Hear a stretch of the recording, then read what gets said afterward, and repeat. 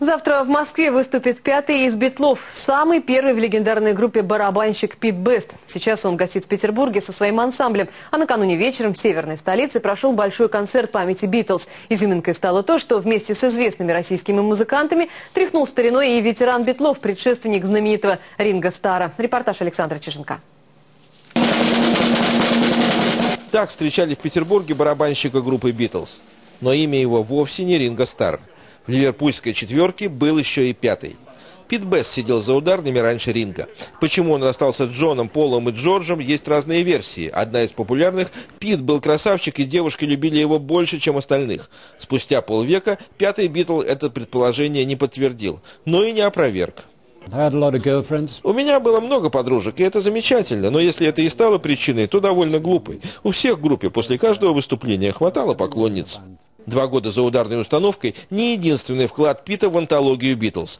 Хотя на обложке клуба «Одиноких сердец» сержанта Пеппера Питера уже нет, без его участия фотография выглядела бы иначе. Медали, которые были надеты на Джонни, на самом деле принадлежат моему деду. Он их заработал, когда служил в Индии, а мама сохранила. Когда Джон был у нас дома в 59 году, мама показала ему эти медали. Записывая сержанта Пеппера, Джон про эти медали вспомнил и решил, что будет здорово одеть их для фото. Генеральный консул Британии отменил все дела, чтобы поужинать с Питом. Он с детства фанат Битлз. Каждого человека в, в Англии у нас такие Битлз, как молоко. Это музыка наша жизнь в Англии. Свой первый в жизни визит в Россию Бест решил начать с города, который, как он считает, носит его имя. Я приехал посмотреть, как идут дела в моем городе.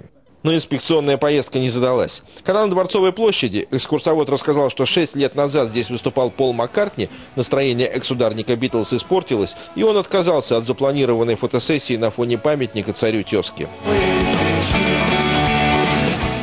В отличие от Пола Маккартни, Питеру Бесту, который приехал в Россию со своей собственной группой, организаторы гастролей предоставили не центральную площадь города, а сцену ДК в одном из рабочих районов. Но истинных поклонников Битлса это не смутило. Зал заполнили те, кто готов молиться на все и всех, кто хоть как-то связан с их кумирами.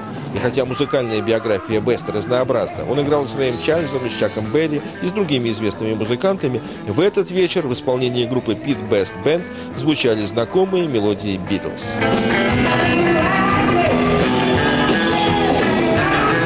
Александр Чижинок, Марк Тюнев, Северо-Западное бюро ТВ-центра, Санкт-Петербург.